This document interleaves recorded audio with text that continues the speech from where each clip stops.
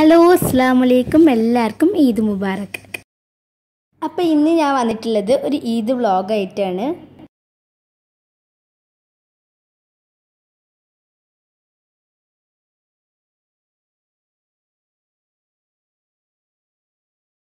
അപ്പോൾ ഇന്ന് പെരുന്നാളിന്റെ തലേ ദിവസമാണ് അപ്പോൾ തലേ ദിവസം നമ്മൾ മെഹന്തി ഉണ്ടാക്കുകയാണ് മെഹന്തി ഉണ്ടാക്കുന്നത് നിങ്ങൾക്കും കൂടി ഒന്ന് ഷെയർ ചെയ്യാമെന്ന് കരുതി. അപ്പോൾ ആദ്യം തന്നെ നമ്മുടെ ഒരു ബൗൾ എടുത്തിട്ടുണ്ട്. അതിലോട്ട് രണ്ട് ടേബിൾ സ്പൂൺ പഞ്ചസാര ഇട്ട് കൊടുത്തിട്ടുണ്ട്. ഇനി ഇതിലോട്ട് രണ്ട് ടേബിൾ സ്പൂൺ ചായപ്പൊടിയും കൂടി ഇട്ടിട്ട് ഒന്ന് നമുക്ക് നന്നായിട്ടൊന്ന് ഇളക്കി കൊടുക്കാം. ഇനി നമുക്ക് ഇതിലോട്ട് കുറച്ച് ശർക്കരയും കൂടി ഒന്ന് ചേർത്ത് കൊടുക്കാം.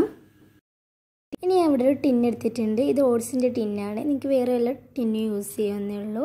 അപ്പോൾ ഇതിൽ നമ്മൾ ഓൾറെഡി ഒരു പ്രാവശ്യം ഉണ്ടാക്കിയിട്ടുണ്ട്. അതാണ് അതിന്റെ ഉള്ളിലേക്ക് ഒരു കരി പോരി ഇരിക്കുന്നത്. ഇതിലോട്ട് നമ്മൾ നേരത്തെ ചേർത്തിരുന്ന ഒരു മൈലാഞ്ചിയുടെ മിക്സ് ഇതിലോട്ട് ഇട്ട് കൊടുത്തിട്ട് ഇതിന്റെ അരുവിലോട്ട് ഇങ്ങനെ നീക്കി കൊടുക്കാം. ഇതിന്റെ അരുവിൽ ഇങ്ങനെ ആക്കി കൊടുക്കാം. അപ്പോൾ നമ്മൾ അരുവിലൊക്കെ ഒന്ന് ആക്കി കൊടുത്തിട്ടുണ്ട്.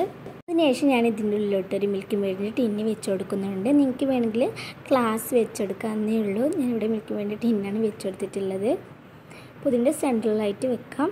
അതിനുശേഷം ഞാനിവിടെ ഒരു ബൗൾ എടുത്തിട്ടുണ്ട്. ഇത് സ്റ്റീൽ ബൗളാണ് ഇതിലോട്ട് ഞാൻ കുറച്ച് വെള്ളം ചേർത്ത് കൊടുത്തിട്ടുണ്ട്. ഇത് ഇതിന്റെ മേലെ നിന്ന് വെച്ച് കൊടുക്കാം അതിനുശേഷം നമുക്ക് വേണ്ടത് ഒരു തുണിയാണ്. ഈ തുണി എന്തിനാണെന്ന് വെച്ചാൽ ഇതിന്റെ ഈ ഒരു വക്കുണ്ടോ അവിടെ നമുക്കൊന്ന് കെട്ടിക്കൊടുക്കാനാണ്. എന്ന് വെച്ചാൽ ഇതിന്റെ ആവി പോവാതിരിക്കാനാണ്. ഇനി നമുക്കിത് അടുപ്പത്തോട്ട് വെക്കാം. ഇതൊരു ഹൈ ഫ്ലെയിമിലിട്ട് വെക്കാം. അപ്പോൾ ഒരു കുറച്ച് മിനിറ്റ് കഴിയുമ്പോൾ ഇതിന്റെ ഇവിടെ കണ്ട നല്ല വെള്ളമൊക്കെ ചൂടായി വരുന്നുണ്ട്. അപ്പോൾ നമുക്ക് നമുക്കിതിന്റെ ഉള്ളിലോട്ടൊക്കെ നോക്കി നോക്കാം. അതിന്റെ ഉള്ളിൽ വെള്ളം വന്നിട്ടുണ്ടാന്ന്. അപ്പോൾ ഇന്ത്യയിൽ വെള്ളം വന്നിട്ടുണ്ട്. അതുകൊണ്ട് ഞാൻ ഫ്ലെയിം ഓഫ് ചെയ്തിട്ടുണ്ട് കണ്ട. വെള്ളം വന്നിട്ടുണ്ട്. നമുക്കിതൊരു ബൗളിലോട്ടൊന്ന് മാറ്റിയെടുക്കാം. അതിനുശേഷം നമുക്ക് വേണ്ടത് മൈദയാണ്. അപ്പോൾ മൈദ ഞാനിവിടെ ഒരു ടീസ്പൂണാണ് ചേർക്കുന്നത്. അതിനുശേഷം നമുക്കിത് നന്നായിട്ടൊന്ന് ഇളക്കി കൊടുക്കാം. അപ്പോൾ ഇനി ഇത് നമുക്ക് കട്ട കുത്താതെ ഒന്ന് ഇളക്കി കൊടുക്കാം. അപ്പോൾ നമ്മുടെ മഹല്ലാഞ്ചി ഇവിടെ റെഡി ആയിട്ടുണ്ട്. നമ്മുടെ ഇവിടെ മൈലാഞ്ചി ഉണ്ടാക്കുമ്പോൾ അമ്മ ഭയങ്കര കരച്ചിലാണ്. അപ്പോൾ നമ്മൾ ലൈസൊക്കെ കൊടുത്തിട്ട് അവിടെ ഒതുക്കി ഇരുത്തിയതാണ്.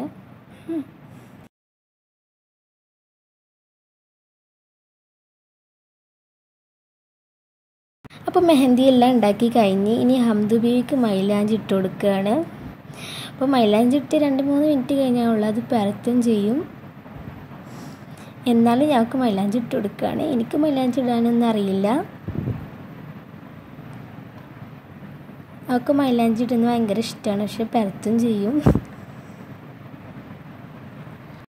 ഇതാ ഈദ് ഡേ ആണിത് അപ്പോൾ ഞാൻ മൈലാഞ്ചി എല്ലാം ഇട്ടിട്ടുണ്ടായിരുന്നു. ഇടുന്ന വീഡിയോ ഒന്നും എടുത്തിട്ടില്ല. പിന്നെ നമ്മുടെ നഖത്തുമത്തെ മൈലാഞ്ചി നന്നായിട്ട് ചോത്തിട്ടുണ്ടായിരുന്നു. പിന്നെ അതിന്റെ ഫോട്ടോ നിങ്ങൾക്ക് കാണിച്ചു തരാം.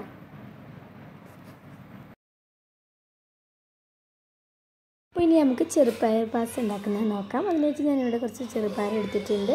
ഇത് നന്നായിട്ട് കഴുകി വൃത്തിയാക്കിയിട്ടുണ്ട്. അതിനുശേഷം ഇതൊന്ന് ഡ്രൈ ആക്കാൻ വെച്ചതാണ്. ഇനി ഒരു പാൻ അടുപ്പത്തോട്ട് വെച്ചിട്ട് അതിലോട്ട് രണ്ട് ടേബിൾ സ്പൂൺ നെയ്യ് ചേർത്ത് കൊടുക്കാം. അതിനുശേഷം നമ്മൾ കഴുകി വെച്ചിരുന്ന ചെറുപയർ പരിപ്പ് ഇതിലോട്ട് ഇട്ട് കൊടുക്കാം. ഇനി നമുക്കിതൊന്ന് റോസ്റ്റ് ചെയ്തെടുക്കാം.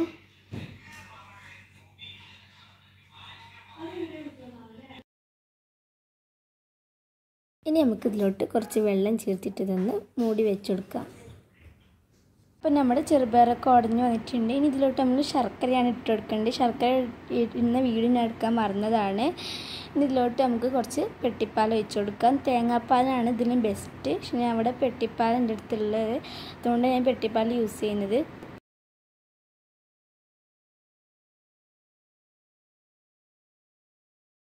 ഇതിലോട്ട് ഒരു ടിന്നി മിൽക്ക് മേടും കൂടി ഒന്ന് ചേർത്ത് കൊടുക്കാം.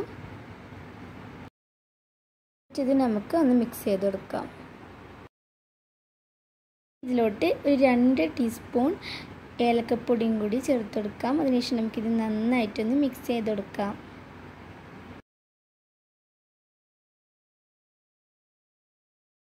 വറവിടാൻ വേണ്ടിയിട്ട് ഒരു പാൻ അടുപ്പത്തോട്ട് വെച്ചിട്ട് നമുക്കിതിലോട്ട് ഒരു നാല് ടീസ്പൂണ് നെയ്യ് ചേർത്ത് കൊടുക്കാം അതിനുശേഷം നമുക്ക് ഇതിലോട്ട് നട്ട്സ് ചേർത്ത് കൊടുക്കാം ഞാനിവിടെ ചേർക്കുന്നത് ബദാമും കാഷ്യും അതുപോലെ തന്നെ കിസ്മിസും ആണ്. അപ്പോൾ ബദാമും കാഷ്യും നന്നായിട്ട് ചെറുതായിട്ട് കട്ട് ചെയ്തിട്ടാണ് ഞാൻ ഇതിലോട്ട് ഇട്ട് കൊടുക്കുന്നത്. ഇനി നമുക്കിത് പായസത്തിന്റെ മേലെ ഒന്ന് ഒഴിച്ചെടുക്കാം അപ്പോൾ ആ വീടെടുക്കാൻ ഞാൻ മറന്നിട്ടുണ്ട്. അപ്പോൾ ഇതാ നല്ല ടേസ്റ്റി ആയിട്ടുള്ള പരിപ്പ് പായസം ഇവിടെ റെഡി ആയിട്ടുണ്ട്. എന്തായാലും നിങ്ങൾ ട്രൈ ചെയ്ത് നോക്കാം. അപ്പോൾ ഫോട്ടോ എടുക്കാൻ നമ്മൾ അടീക്കിലോട്ട് പോവുകയാണ്. ഇവിടെ ലോക്ക്ഡൗൺ ആണ്. അതുകൊണ്ട് പുറത്തിറങ്ങാനൊന്നും പറ്റത്തില്ല. അപ്പോൾ നമ്മൾ ജസ്റ്റ് ഒന്ന് ഫോട്ടോ എടുക്കാൻ വേണ്ടിയിട്ട് അടിയിലോട്ടൊന്ന് പോയതാണ്.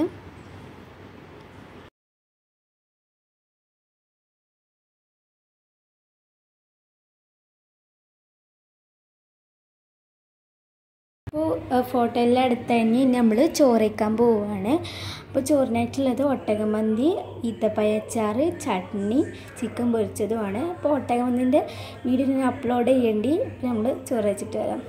അപ്പോൾ ചോറ് വെച്ചിട്ട് എല്ലാവരും ഉറങ്ങിയിട്ടോ ഞാൻ ഉറങ്ങിയിട്ടില്ലായിരുന്നു. ഹംദുബിയൊക്കെ ഭയങ്കര ഉറക്കത്തിലാണ്. അപ്പോൾ നമ്മൾ ഇന്നത്തെ വീഡിയോ ഇത്രയേ ഉള്ളൂ. അപ്പോൾ നമുക്ക് വീണ്ടും കാണാം. ബായ്